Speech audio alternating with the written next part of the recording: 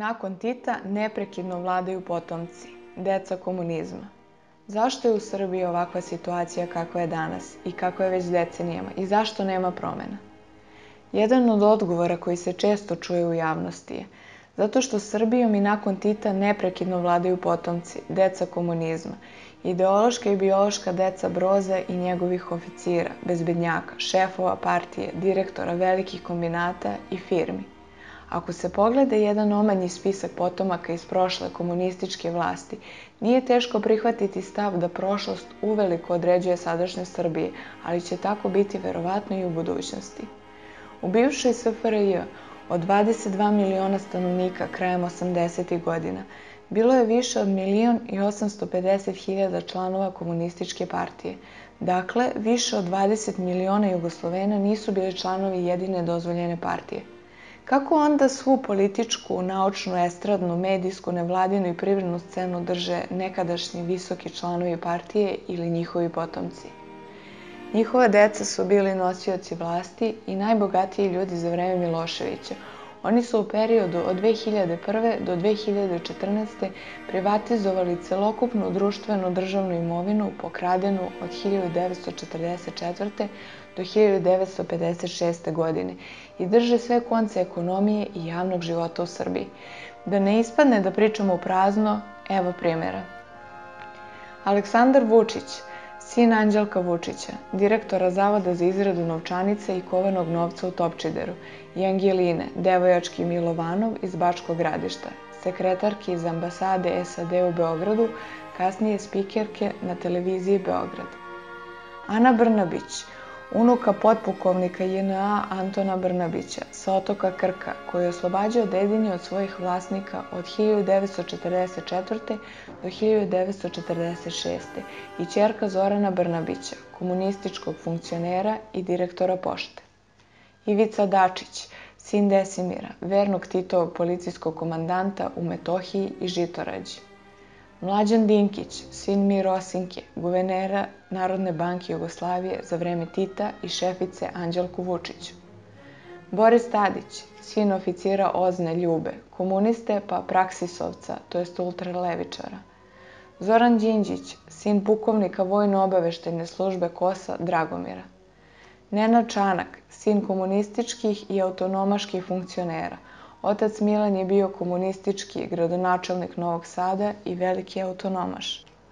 Mirjana Mira Marković, tetka Davorjanka, je bila Titova ratna sekretarica i ljubavnica, čerka komunističkog rukovodioca Mome Markovića i revolucionarke Vere Miletić.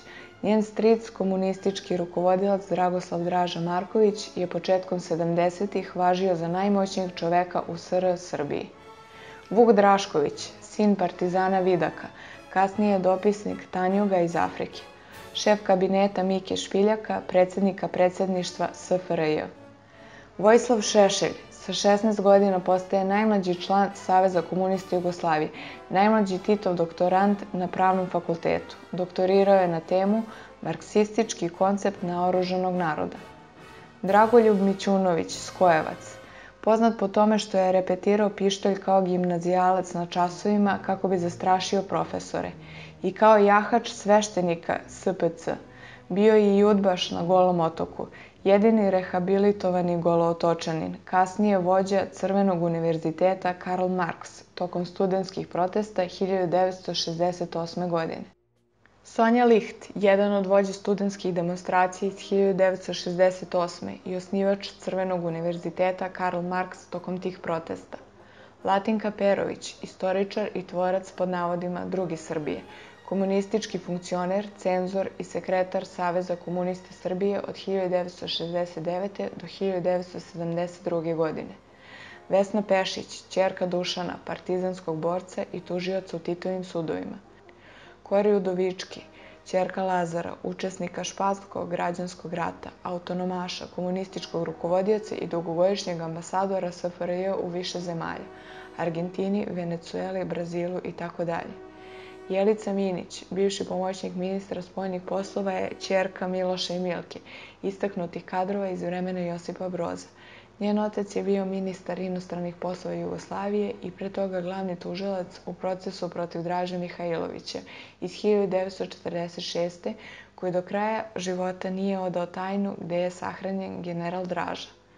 Željko Ražnatović Arkan, službenik Udbe i Saveznog supa, ratni komandant, sin Veljka partizanskog borca, pukovnika JNA. Nataša Kandić, čerka Maja Rozne, Pavla, koji je naredio streljanje Srba u Topoli 1944. potonji general JNA. Staša Zajović, žena u crnom, čerka Jole Zajović iz Kotora, partizana koji je 1944. streljao Beograđane prilikom takozvanog oslobođenja.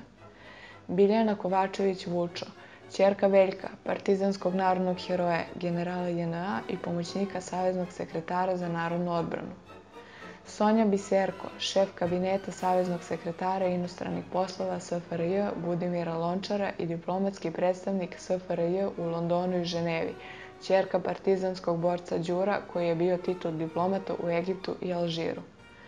Boško Jakšić, perjanica lista politika i najveći stručnjak za međunarodne odnose, sin Pavla, Titova generala i narodnog heroja, komandanta Beogradske vojne oblasti i pomoćnika načelnika generalštaba JNA, kasnije udarni član CK SKJ. Gordana Suša, čjerka udbinog operativca i novinara cenzora Živorada Širje Mihajlovića, snaje generala JNA Saše Šuše i supruga funkcionera Saveznog supa SFRJ. Duška Jovanić, novinar i pisac, unuka narodnog heroja i generala JNA Đoka Jovanića. Vuk Jeremić, unuk šerifa Buljubašića i Sadete Pozderac, čiji je otac Nurija Pozderac, potpredsednik Avnoja.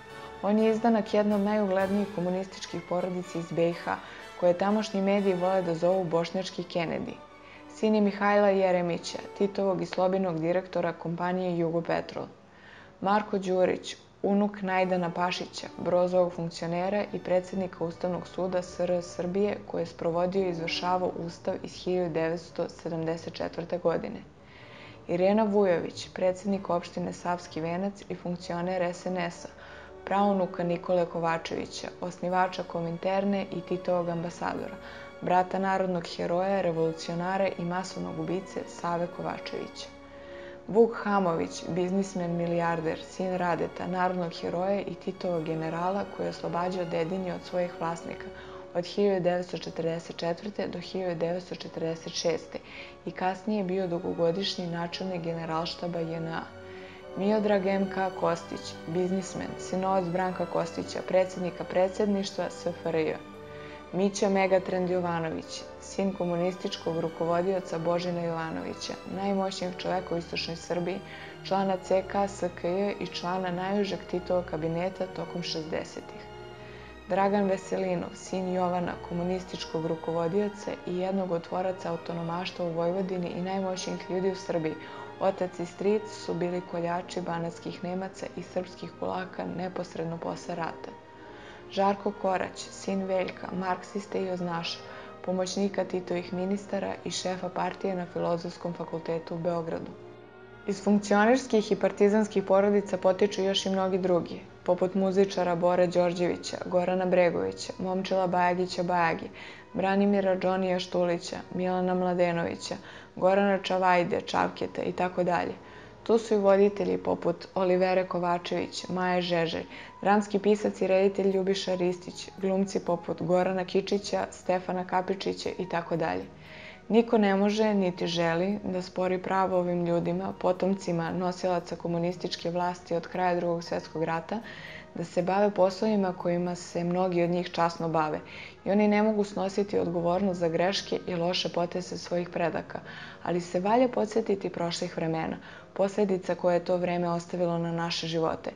Možda i uz pomoć ovakvih podsjetnika polako izađemo iz provalije u koju smo upali pre mnogo godina i uspemo da napravimo društvo u kome će biti mesta za sve, ali i boljitka za sve. Ta prošlost nam je ostavila jedno veoma rascepljeno društvo, na jednoj strani mali sloj, jedva nekoliko procenata stanovništva koji žive kao engleski lordovi i veliku većinu koji jedva sastavljaju početak i kraj meseca. Ovo je bio autorski tekst Petra Živkovića.